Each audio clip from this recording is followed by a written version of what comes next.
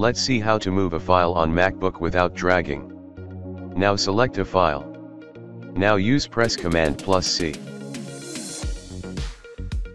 Now go to the location where you want to move.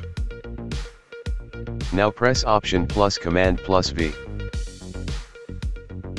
This way you can move your files through the keyboard.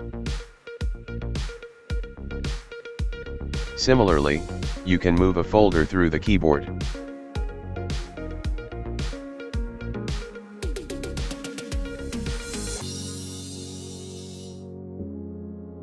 Thanks for watching. If you like my video, please subscribe and share.